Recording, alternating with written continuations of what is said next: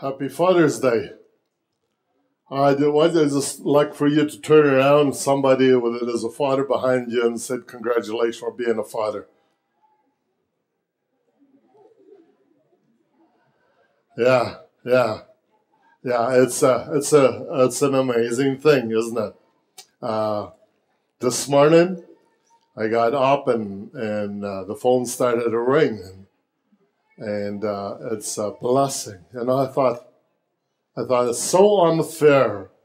It's so unfair that so many the devil can steal so many blessings that uh, to say the word to a dad or uh, for a son to say to, or the dad say to the son, uh, Happy Father's Day, we love you.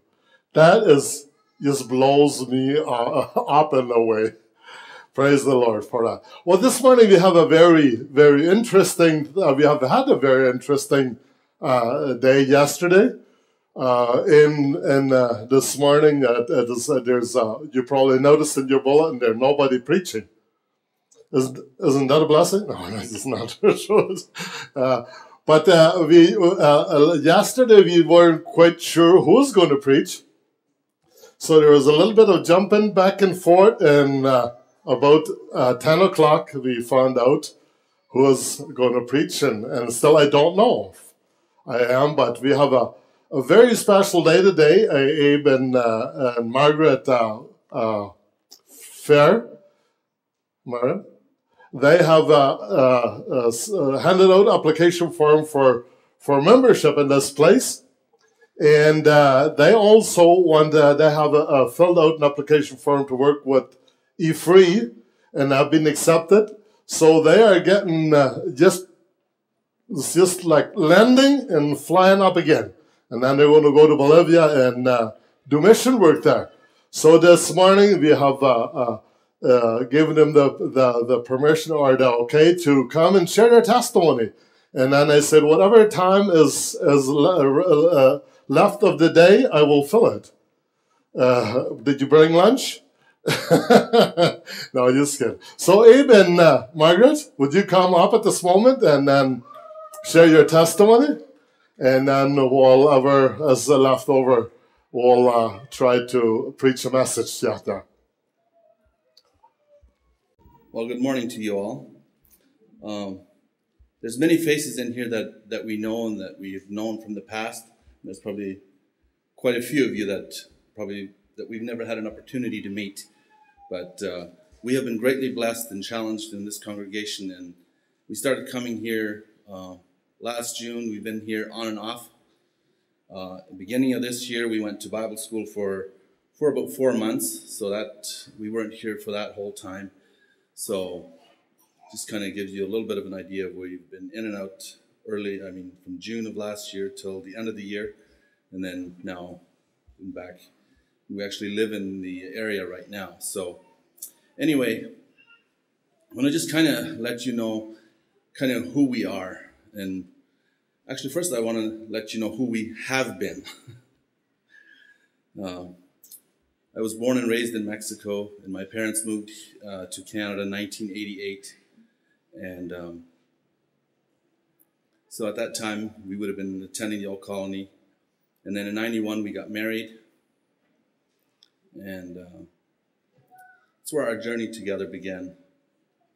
Um, we wanted to get married. Um, we didn't have specific goals that we talked about or anything. After we got married, my wife was, uh, many times she would ask me if uh, we wanted to sit down and read our Bible together. And for me, it became a nag. I, I just, I had no interest in it. And she kept asking me if we wanted to read it together, and I just, um, all of a sudden, I was, I was just so tired. I didn't want to hear it. I just finally told her, "Look, I want nothing to do with it." Please leave me alone. And so, and as you can imagine, our marriage just began to deteriorate more and more. And we ended up moving to Alberta. We ended up living there for seven years. And even while we lived there, we, we just, it was a continual deterioration. We went and sought help from the uh, Old Colony ministers many times. Um, there was always just a try harder. What I so appreciated about this morning's message is that uh, we've already heard is that our position in Christ, if we don't know our position in Christ, we will apply all kinds of different avenues. We will we will try so many different things in our own strength to try to strengthen us or strengthen others or whatever. If we leave Christ out of the equation, there is no help. So, in 95 is when we moved to Alberta. So, we lived in Alberta for another seven years, no, another five years before I got saved. Because our marriage was so hard, so bad, we didn't communicate. I didn't even let my wife know we came back to Ontario here. I had a brother that was already converted at this time, and he led me through to the Lord. And of course, my wife was very interested in finding out what my young brother had discovered and what what he was, uh, how his uh, life had been changed and all that. But because our marriage was so bad, we didn't communicate. I kept her away from my brother, and I just went and talked to him on my own, and, and he would just continuously point me to the scriptures. I didn't have to deal with my brother's ideas. I didn't have to deal with, with what he was trying to tell us. I had to deal with Scripture. I had to deal with God. It was God that, that I had to deal with in my heart. so on our way back to Alberta, my wife, she just told me later, but anyway, she she had noticed that there was something different. But she was she had purpose to test me to see if I was for real. It lasted some weeks and then I fell. I fell miserably. I couldn't in my newfound faith under testing, I didn't last. Then in 2002, we moved back to Ontario. At that point, we moved back to Leamington. And, and back in Leamington, we, we were part of a congregation there. And just having so much of our past to deal with and not knowing how to deal with all of that, uh, it took a couple years and I fell back into sin. And I started living a double life. At this time, our children, well, our children already grown. Our daughter by this time was 10, 9 when we moved back to Ontario. And so there began another period of very much, a very, very hard part of our marriage began. It just began to pressure and pressure us because I was living a double life, and then my wife, my wife knew what I was, what, what I was into, and she, of course, applied the grace of God in her life. And uh, she came up to me one day and she said, Abe, she says, I know what you're into. And I still love you, but I will not love the things that you do. That day, I would have rather had a two by four over my head than have her tell me those things. Because that just shattered me from the inside. I couldn't handle it. And then there began a journey of very, a journey of convicting. The Holy, Holy Ghost began to convict me and just began to break me, break me down. And that took uh, uh, several months. and then I was just ready to just deal with everything in my life. And I surrendered to God. I, I surrendered everything to God at this point. And uh, So the Lord has been very, very faithful to us over the last number of years, just showing me again and again where our need is. Our need is in Him. If we go and find anything outside of Jesus Christ, we will always come up short. And we talk, if we, we heard John Bamman talk about victories. I have found victories that I never imagined possible. That is in Jesus Christ, we find that victory whenever we have things that are going on that are hard in our lives that we that we're facing if we're trying to go and find our own solutions to them we are driving down we're going down further and further. It's it's kind of like the the idea that runs through my mind is when uh, God promised Abraham a son. And we have a long period of time where there is no son born, and Abraham and Sarah are getting old, and finally they decide to help God out. They bring Hagar into the, into the situation, and she bears a son, and it's Ishmael. Ishmael, Ishmael is born of the flesh. And what is born of the flesh is rejected by God. We see that in uh, John 3, verse 6. It says, That which is born of the flesh is flesh, that which is born of the spirit is spirit. And we see again and again, we see that in, in, in the scripture. First Adam was rejected, second Adam was accepted. And we see that Saul was rejected and David was accepted. We see so many of these parallels running in scripture where the things that are of the flesh, the things that are born of the flesh, God is not pleased with them. And so that's what I say. There was, there was a part of me that was not willing to yield up everything to Christ. And so when I did finally, when I came to the point and to the place where I was able, where I was uh, willing to yield up everything in my life to the Lord, I came to the place where I said, Lord, whatever you want for my life, that is what we will follow after. My wife and I, as strange as this may sound, but from very early on in our marriage, we knew that God was leading us to help poor people. We always found ourselves working with poor people, very uh, misfortunate or very poor people. We found ourselves in those situations so many times. And so when when when this whole thing happened, I just said to God, I said, God, if you want us to go, we had a burden for Bolivia, we had a burden for Mexico and Haiti. So we began to take that into prayer and we just lifted it up before God and asked him to open and or close doors for us, to, to show us what he wanted us to do. And one of the commitments that we made was we had a business and a home. And so we asked the Lord to send somebody our way without us making it known that that would be for sale, both the home and the business. Within within four months, we had a we had a buyer for the business, and as soon as we started into the paperwork situation with, the uh, selling the business, the business took off in such a drastic upward climb that I came home and I cried to my wife and I said, maybe we ought to hang on one more year. And there was a test for me to see if I was willing to give up or not.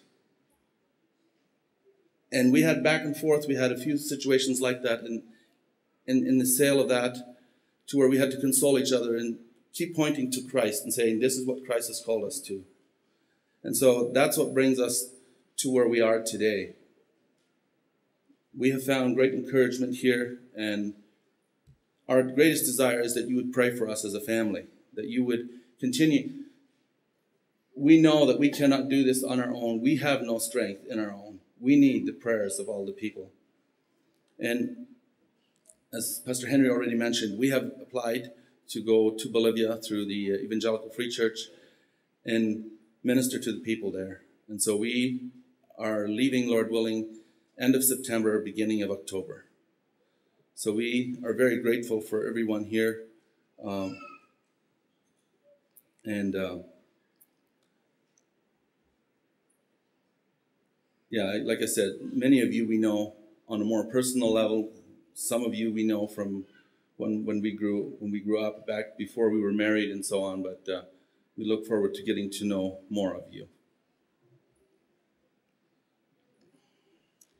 For myself, my salvational testimony is uh, when Abe was, uh, after Abe was converted, I decided that I was going to test him because he wasn't willing to talk to me. And I saw that he failed and our marriage got just worse every day. And it uh, brought me to the point where I knew that uh, I was in a corner where I cried out to God that uh, if there's, uh, for me to get out of this corner, I had to be lifted up lifted out from the top, or I had to end my life right there. And uh, at this time, we went to a counselor, and he led me through. And it was, uh, I don't know how it happened. I don't know what happened, but I just know that uh, I was a very angry person when I walked into the uh, counselor's room, and the counselor asked me if uh, Abe and I were both going to go in there, and I told him, no, we were not both going to go in there. And uh, I went in there by myself, and about 15 minutes later, he went and told my husband to come in there, and he was so excited and said that your wife has just accepted the Lord. And at this time, I was still like, wow, he's really excited about this. I still had no idea what all this meant. I just knew that I needed help. And uh, he had led me through a prayer. So I had accepted Christ. A little bit later, he asked me if I was feeling anything, and and I really felt, I really knew I need something. So I really felt, and uh, I tried to feel if I was feeling something, and I, yeah, I think I do. And uh, that is when it started to uh, do something in my heart. And by the time I left the office, my anger was exchanged for for love and brokenness. On our way home from this uh, counselor, I repented to my husband. I asked his forgiveness, and I told him that I was going to submit to him and allow him to lead me because uh, the thing that scared me so much was the church thing that he was going to lead me in a wrong direction and uh, god clearly showed me that uh, margaret i will be there for you and i will not allow your husband to misguide you if you will place your trust in me and i was able to do that and i committed to doing that and life has never been the same that verse where it says that all things have passed away and all things have become new that is my testimony that I have never been the same. We have had many, many trials since Abe's falling back. It has, uh, it was not something that supported me in growing in my Christian life. And uh, therefore, we have had many trials, which God brought us through. And we had uh, counseling done. And uh, after the counseling was uh, was over, the last meeting that we had with the counselor, he said that uh, there's nothing more that I have for you, God there's nothing more that I can share with you guys. And basically, that you haven't listened, you have not yielded to what I have to say to you, and therefore there's nothing more that I can say. I have said everything that I could say. And that was so devastating for me because this was my last help, my last hope. And at that time, I went home and I started crying out to, crying out to God. And it was shortly after that where God showed me very clearly that Margaret, this is where I have wanted you in the first place. I wanted you to come to me, not to people. And at that time, I looked at that whole thing and I thought, I, I thought to myself that, wow, why didn't anybody just tell me, go to Jesus? Because this is the answer. They could have told me this right from the beginning. Nobody would have had to spend so much time into our lives if they would have just told us this. And God, through that, showed me my life and the areas where I was failing. And uh, through that, did a great work in my life where I started seeing that it was a great opportunity for me to learn to be a Christian under bad circumstances. I uh, really fell in love with Jesus at that time, and uh, when Abe started changing his life, it was beyond of my imagination, and it was uh, beyond of what I had expected that God would do in our family. And I know that it is only in Jesus Christ. It was nothing that I have done, but it was Jesus that reached down in mercy and helped Abe see see for himself who he was and also showing me who I was. And at this time, we are uh, planning to going out to Bolivia and uh, be missionaries out there. And I would have felt more prepared to do that some years ago than I do right now. Everybody says that it is a good place if we are if we feel that we're not prepared to go but that is a better place. And then obviously, this must be a good time for me to go out now because I feel very unprepared.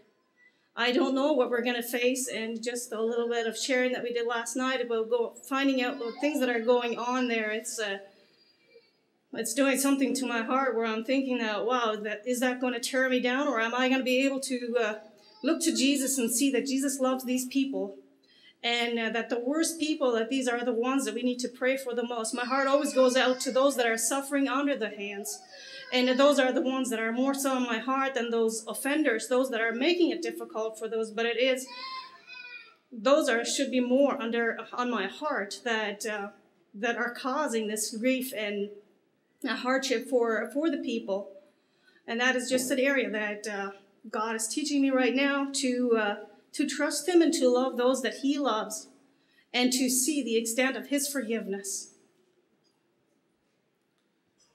Yeah, we uh, because of time this morning, we uh, we probably each have 45 minutes that we could share, filling in all the details that all the things that happen in between.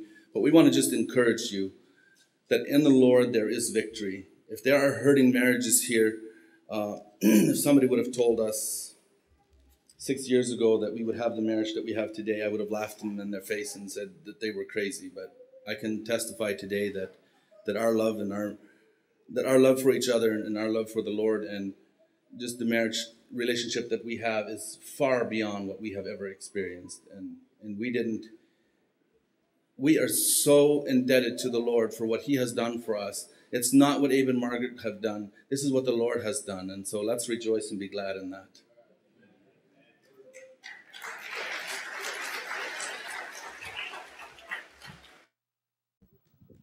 Tremendous blessing. They've been a tremendous blessing to to us. Margaret is uh, is my step uh, cousin.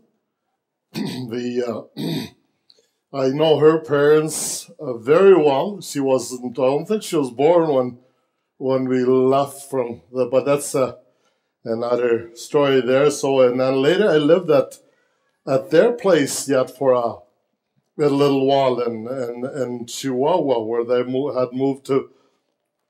And so, uh, but uh, uh, she cannot remember anything of that, and and. Uh, uh, she was probably too young and I'm too old. but they have been a tremendous blessing. I would encourage you to get to know them and invite them for lunch or whatever if they have time and get to know them better. They have been a tremendous blessing. All right, I want to, there's uh, eight steps that, uh, that I want to talk a little bit about the Father that we we haven't. The, the Bible says we got everything that we need for life and godliness, and God has supplied all of our needs according to His riches and glory. And a lot of times uh, we just don't know what is available for us or what is even put in us by God. We haven't discovered that, and so then we we let the enemy rob us from. Uh, some of those, those things. And so I want to I want to lead you through eight uh, eight thoughts here that I have. It's uh, the, the, what the Father is is initiator. The Father is an, an initiator, and uh, uh, of course we know that without a dad we could have never been a son, right? He initiates that, but also that the the, the that is the only the beginning of where he initiates the things, but many other things we can see from from our Father uh, which is in heaven, right? He started uh, the world. It says, "In the beginning, God created the world, and He initi- initiated life. He created man."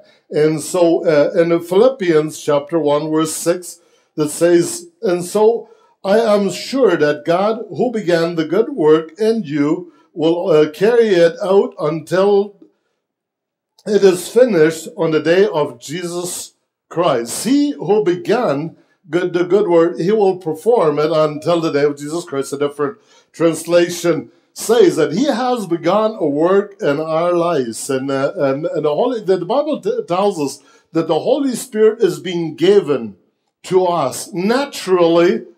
We should be imitators of our Heavenly Father. That would be the inclination of the new man that is in us, uh, uh, placed there by the Holy Spirit, even though before we did not know Christ. Have you ever watched non Christians? and they, the, the, the way they respond to their children, and you look at the Bible, the way God responds, and you just see that even in their natural way, they bring out the godly nature that was there even though they might not glorify God, they might not give God the glory or recognition, but it's there. We have had some tremendous blessings. I watch around here and, uh, and my own boys and kids. And watch here, there's there's a man that I they, they play baseball and, and all they uh, I've ever heard hear them talk about cars and the way they cars and or, or whatever they might talk about, and then all of a sudden there is comes a time where they have a little baby and they just change tremendously. It just their whole lifestyle is just it's upside down. Well, not not necessarily, but uh, have you ever noticed that that they they grab that baby and they hold that baby, and it looks like They've done this all the time. They are so natural about that. Uh, our son, our youngest son, Abe, he they, they didn't have uh, children for for ten years, and and Abe would never never grab any one of his nieces or nephews when they were babies. He just always looked at them, and he uh, it, it, it, took him a second to, to and then he had seen them, and that was all he needed, and uh, just to make whoever feel more happy that he had watched too, and and so then he walked away. But all of a sudden, they have a baby, and just oh, it was just amazing that they were there at our place. They were showing their baby, and uh, they didn't put it to bed to sleep. They were just holding that all the time, and it looked. He was clean, and I thought, Abe, where did you learn that? He was he was changing diaper. It, it's so natural, and then uh, as uh, thinking is us. The nature of God is placed in us. If we just allow the nature of God to flow on us, we should should be very obvious that the nature of God should flow through us. And and one of the things that that that uh, that uh, uh, a dad does, uh, he loves his children. Absolutely. I I I said this morning before I said it, I said that the thing that has bothered me it is that that man be so macho or so uh, that they would not say to their children they love them and then and then uh, hear that in return. Uh, uh, I had it gave me such a good feeling this morning when my daughter, when my daughters and my uh, boys called me and said they loved me, and I also thought about is, do we ever say to our Father, just uh, take a time and say to him, we love Daddy, we love you. The uh, day that we actually set apart to, to uh, build fathers or to remind them that this is the fathers that you're important. Man, you're important. You're the initiators of life. You're the initiators of prayer. You're the initiators of loving God. You're initiators of using the word love. You're the initi- you should be the, we should, and many of us are. We're the initiators of those, and we should take the role, and we should be, uh, feel joyful that we can take the, the initiation of uh, teaching our children about the love of God and leading them then in the Word of God. And so train a child in the ways of the Lord, and when he grows up, he will not depart. He might try, but he won't, will not be able to depart from it. And then, and then a, second point that I want to, this is as a, a uh, caregiver. In Luke chapter 13, verse 34, it says, Jerusalem, Jerusalem, you, uh, you kill the prophets, you stone the messengers of God that God has sent, uh, sent you. How many times I have wanted to put my arms around all your people, just as a hen gathers her chicks under her wings, but you would not let me. And so I, uh, it, it, tells, and the Bible says about also that, that, that God will supply all of our needs according to his riches and glory. He is the supplier of our needs, and naturally, a man is inclined to be the provider of the family. Can I have some hands raised and said, That's me? Yeah, that's just natural. If you want to supply, I, I do remember one, one day on Christmas Day, I was telling my kids I would have loved to give you something that would express my love towards you or my, my desire to, uh, to give you what you need, but uh, the limitation that I have uh, financially doesn't allow it. And then one of my son-in-laws that I least thought about, he said, Dad, you have given your kids principles on which to build their life on. And we as in-laws, we are blessed through those principles. You have given them more than houses or good uh, goodies, uh, good things that, that, that, you can get on earth. And I thought, uh, uh, and isn't that the truth? Heaven and earth will pass away. Houses, they will get old and cars will rust out. All of those things, they will go out. But principles, the word of God, you provide that things, and that is there is a thing. And as we are inclined to provide f- physical things, uh, material things for our kids, so is our inclination to provide our family with a church, with the Word of God, and it is placed in there. It is there. Uh, the, the third point is uh, I want, and I don't want to spend too much time on, on all of those things, but uh, fathers, this is all in you. You know, and the only way that doesn't manifest is because the devil has come to steal, to kill, to destroy. But Jesus has come to give life and life and abundantly. And uh, the third point is, is the, the provider.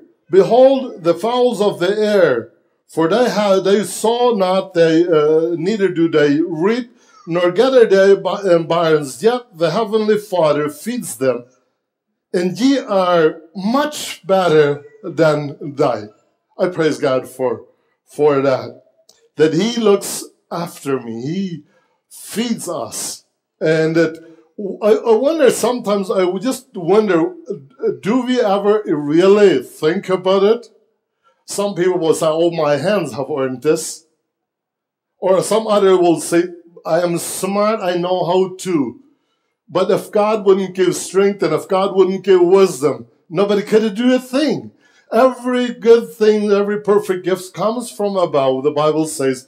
In all our provision, they are given by the Lord. And, and, and also, as fathers, Bible says, ye that know how to good, give good gifts. Isn't that true? You, you buy your, your children toys. Well, I don't think we should ever forget to, to lead our people, uh, our children to the Lord uh, and say to our children, the gifts, the toys that our Heavenly Father gives us, the desires of our heart are placed there by God. And I think about the, the privileges and the blessings that we have um, uh, meeting so many people and being encouraged by them and being uh, taught by them. Uh, so many of young men have approached us with such a tremendous wisdom from above. And, and I am so glad that God is meeting our physical need and our spiritual need, our spiritual food too. And the Bible uh, compares to the, the, the, the birds, they are valuable. And you are a lot more valuable. And it is in us and it's in us, a gift by God, give, uh, uh, placed in us to wanting to provide for our children for, in the physical and then also in the spiritual and the most of. Uh, and he's a counselor.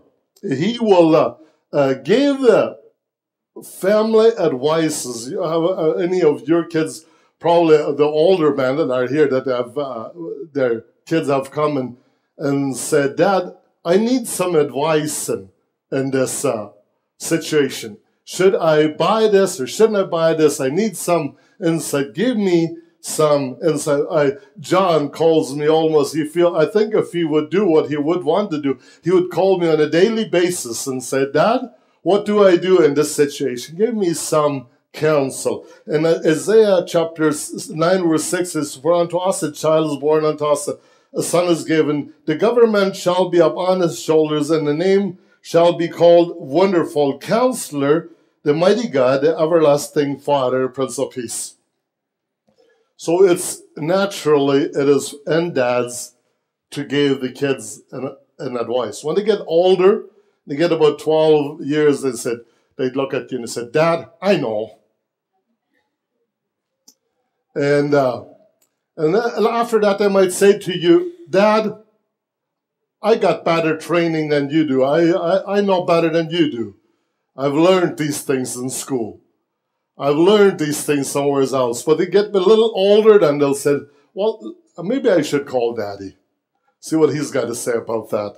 And then some kids, they will then later say, I wish I still had my dad that I could ask him for some advice. I, that's me here. Absolutely.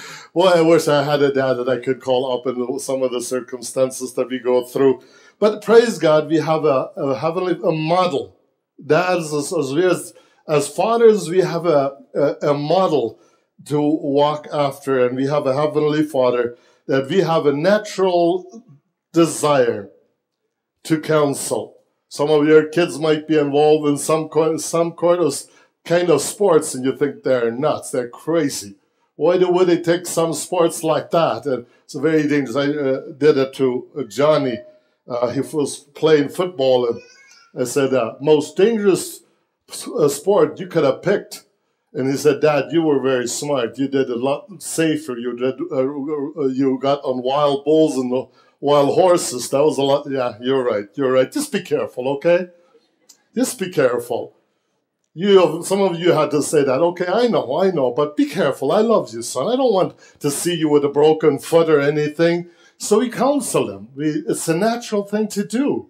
Praise the Lord for that. It's given by our Father which is in heaven, placed in us. And I want to encourage you, dads. Even if sometimes your children don't seek for counsel, even if they don't care for your cause, give it anyways. My Heavenly Father does. He gives me advice. Sometimes I don't think that I need it, but He gives it to me through the Word of God. And so let's keep on. Let's keep on giving our children good uh, advices. And sometimes the, dad just has to take us apart and give us a good spanking. You know that's what I call this? Nimrod pads. Nim the rod and, and slap the pads. They're given a gift, that's a gift by God, where it doesn't break, but where it hurts. And, it, and, and I know that in this country that I'd probably get in trouble for saying something like this, but I don't care. That's the way that God works. And, and there is just no other way. Sometimes our Heavenly Father takes us to and uses the Nimrod for and, and, and our paths to. And, and he corrects us. The Bible says in Hebrews chapter 12, verse 7, it says, If, if ye endure chast, uh, chastening, God dealeth with you as of with sons. For what son is he whom the father chasteneth not, chasteneth not, or who is the child that not spanked? And, and uh, verse 9 says, Furthermore, we have had a father, we have had fathers uh, of our flesh which corrected us, and we gave them reverence. Shall we not much rather be uh, in subjection unto our heavenly Father of spirits and live? See, non corrections could mean death. Corrections, I want to say something here because uh, I've experienced both. I, I uh, this is just a, a, and I've done this before. Whenever we spank, and, and, how many of your fathers would agree with me that easiest way to spank a child is when they make you really mad? Some of you are just not honest. It is very difficult to spank a child when you're totally calm and you have absolutely no rattling in your uh, body, and then, then to spank a child. It's just very, very difficult. But it is never ever, as advice from me, never spank your child when you're just outraged, just mad. Even that might all be the reason there. But let that calm down and then say to yourself, okay, I gotta do something here. The, the, the, what you've done is, is wrong and it deserves punishment. And uh, the best way for you to remember not to do those kinds of things is when it really hurts. That's the best way that you'll remember. And, and then another advice that I want to give there is, is uh, after you've done it, let's say, now go play outside. Now go and do this, go do that. Hug him and then say, you know what? I love you and I care for you and I don't want you to go the wrong way. And that is why I have, and it's amazing. It's amazing. Uh, that's all I'm going to say about that. I've had uh, lots of experience. uh, it's interesting sometimes, a lot of mistakes that I made. A lot of times that I've cried and asked my children to forgive me for making a mistake like that. And that is what we all should do as as uh, fathers. I know our Heavenly Father never has to do that to us, ask us to, for forgiveness for the mistakes that he made. But we do, and we should be transparent that and not be too proud admitting that and going and, and ask for forgiveness. And then the sixth point is the leader. The leader. You know that that as dads, you're a leader. God does never, uh, uh, or Heavenly Father, never ever, uh, you will find that He will uh, say, go do this or go do that without showing us how to do it, right? He will equip us for whatever He, uh, the job He's given us. And then in uh, James chapter 1, verse 17 says, Every good gift and every perfect gift is from above and cometh down from the Father of light which whom, uh, with whom is no variableness, neither shadows of turning. There's a couple things we can pick of this consistency, right? And it's very, very important uh, for for us to be consistent and uh, and then be that consistent leader. Be that consistent leader. Don't jump back and forth because that way that will make them start to doubt, and uh, then you will have no real uh, uh, model to follow. And the seventh point is, is, is the peacemaker. The peacemaker, when there is, uh, whatever it is, sometimes boys, or if there's more than one child, they fight. I know your children don't do that. My kids shouldn't have, but they did. Uh, they were Christians, but sometimes they didn't act like it. And sometimes I questioned it and I asked them questions about it. And, and sometimes they didn't care if they were or not. At that moment, when they're just uh, mad at each other, they didn't even care if they were Christians at that moment. But then a little ways later, when their wrath came down, then they then they uh, did care again. And so then it's the, the Bible says uh, uh fathers also uh, sometimes just has to go there Okay, now you ask for forgiveness and give him a hug. Have you done it? You say, okay, now give him a hug. And they said, do I have to? And then they go, and then they turn like this. And, Can you forgive me? Try to turn their face as far as this so they won't touch cheeks because they can't still can't handle it. It's too hot. But uh, nevertheless, you'd have to do it. And the Bible also says to us that we have to uh, be peacemakers. We have to make peace with everyone. And, and God, that we were his enemies, and he, through Christ, sent his son, gave him up, and made peace with us. Ephesians 2, verse 15 says, Having uh, abolished in his flesh the enmity, even the law of uh, uh, commandments containing the ordinances for, uh, for to make in himself of two one new body by the cross, having slain the enmity thereby. So he came and made peace. And you know that to make peace, you have to give up your own feelings, you got your own desire. Uh, you know, isn't that interesting? that we always say, I wouldn't have any problem living in, living in harmony with somebody else if they just would understand my ways. If they just would under, understand that my ways are better. And, and so, or, or, or my church is better, or whatever it might be, then we wouldn't have a problem. But if we need to go over there, and humble ourselves and say, okay, doesn't matter who's right now. What matters is that we live in harmony, that we are united. That's what matters. But that's hard. Would you agree with me, man? It is just hard to say, okay, well, let's do it your way then. Even if I, I know it's wrong, but I'll prove you later. And then sometimes works just back, backwards.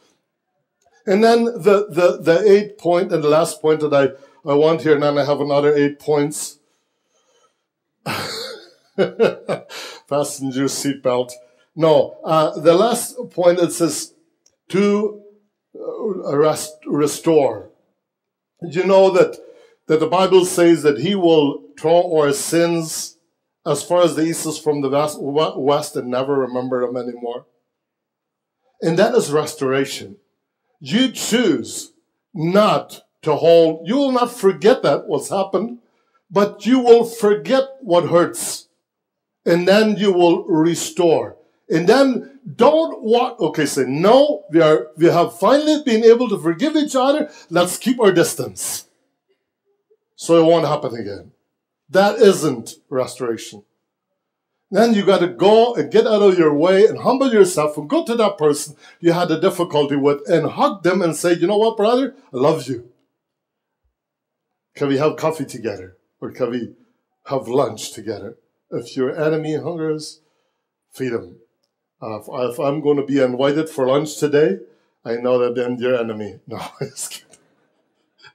just kidding. I have a, uh, and, and we, we see uh, the, the, the, the, the, the prodigal son story. You know, just tremendous illustration of how dad, first of all, he gives the son what he wants. And, and you would call, call a wasteful father probably at the moment, right?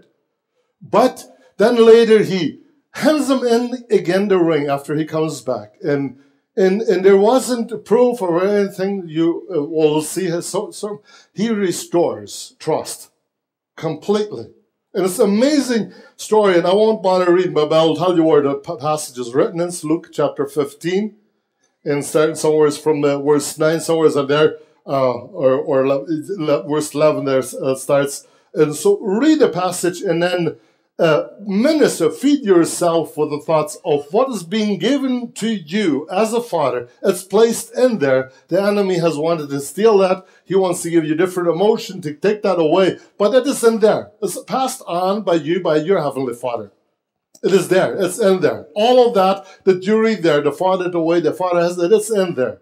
Just got to bring it to surface. Just got to find it. Sometimes there's a, uh, or son-in-law, uh, when he when they were in Mexico, that he said he counted started counting the oranges that was on the trees, and he loved those oranges. And he says, "Well, if I eat three a day, I will have them done by the last day that we leave." And and he kept on eating and, all, and kept on finding more. And I think it's the same way with us. If we keep on looking and, and using what is there by God, then we'll come out back the next day. Oh, some more that I see that I, it's being made available for me. I wonder, I wonder, uh, I use illustrations a lot. I like illustrations a lot. It seems like in this church, I've, I've thought about it this morning, it's all car illustrations. You know, that uh, uh, not very long ago, a man, uh, I heard a man talk to a friend, and he said that he had a car uh, that somebody else was driving, and and uh, and uh, and the gadget that the car the car had was wasn't discovered. They were useless because they were there all for the for the use, but didn't know how to use it, or never knew that they needed. It. And I just I have just a few things: cruise control, consistency Cruise control is consistency. How many of you men do what I do is, is when I get on the road, I put my cruise control on because I know my foot is going down and down and down. And then as soon as I reach my speed, I push it in because that way I don't have to look for the place. I know I'm going to go consistent. And I'm not going to one time low down and on uphill and downhill speed up. Some of our lives are like that, right? And then when we see danger, we slow down. Oh, I wasn't going to my, my uh, uh, GPS. Find your destination. Destination. Find where you're going. The Bible is a good GPS to find where you need to go to. Whatever situation is, uh, it's it's a great tool. I uh, push that in and, and, and I listen to where it wants me to turn, and sometimes it's wrong, but our Heavenly Father is never wrong. A sunroof I never, never know. But it is uh, uh, uh, there to let the sunshine in and to let fresh air in. And then sometimes we just let the, need to let the sunshine in. Uh, power windows, how many of you love those? How many of you don't even remember having to crank down? So, oh, how, why I don't deserve this? What, what have I done wrong to to that. Oh, and then you want to talk to the person, you got to lean over. Say what? So it's power windows and They, they are, you know, we have, and uh, you shall receive power. So the Holy Spirit has come upon you. It is available there for, for you to, to roll down the windows. So, and then there's uh, power seats and all those gadgets. I had to, it took me a long time to find those things in my car. And you know, you know, the Bible says, Come all to me, unto me, all ye that are labored and heavy laden, and I will give you rest. There's where you can get comfortable in the presence of God, you know, getting rest from all the work. And, and then there's this Bluetooth. See it? Oh, no, that's not what I mean. One day I, I saw this little cross on my car, and I thought, should I push it or should I stop to push that? What is that? Does that mean all the four wheels are turned different ways? What does that mean? So I pushed it, and it says OnStar is not activated. If you want to press so so so so five five five whatever, and and, and you can talk without your hand being busy, and the, the sound comes over the speakers. So you know, talk to God. We can with our hands free. You know, just take time to talk to God. Uh, in an Nexus sound system, turn it on so you can hear what comes over the speakers. Listen what the God, the Lord said said to the churches seven times. The, the Bible says in Revelation, "See that has an ear, let him hear what the Spirit of the Lord says unto the churches." And then there's an alarm system, and uh, and that warns you when someone wants to grab your car. It shouldn't be. Uh, that's been a nuisance to us, but uh, we don't want to talk about that part. But just uh, have our alarm system on, and you know how. Do you know how sometimes the Holy Spirit will prompt you when you're doing something, or you uh, wrong, or, or you're planning on doing something wrong? That that alarm system would be activated. That the sensitivity of the Holy Spirit would be there. Uh, that would alarm you when the enemy wants to come and steal, so that you would build a pr- uh, protection around it, call upon the Lord in the day of trouble, and He'll rescue you. Okay, let's bow our heads and close our eyes. And I just would say, how many of you would say, Brother, pray for me? The Lord's been speaking to me. I should be using some of my tools that I have in my car. Amen. So, a few hands. Yes. Okay. Amen. Well, let's let's go in prayer, and those that don't, those that know how to use all their gadgets that they have, intercede for those that are struggling with things in their life. Father, we want to thank you for this day that that even though we celebrate Father's Day every day, we have a relationship with you every day. But this day is a very special day that that the, the world is recognized and we want to take the advantage of that, not because of the world does it, but we want to encourage every father here not to celebrate it the way the world does it, but Lord, that we would we would just be connected with you so closely and use all of the tools that we have been given by you to uh, run our life in such a way that would bring glory to your name. I pray for every person here this morning that has this great desire to be a father that you are to us. Lord, I know that every father's heart here, that if they have a, a little bit of your spirit working in their lives, that that they we would recognize that we have missed it, we have we have missed the mark with our children, and we would ask you that you would forgive us and, and help our children that they might also be able to forgive and Lord, and help us, Lord, to walk in you and take the example that you are to us. In Jesus' name, amen.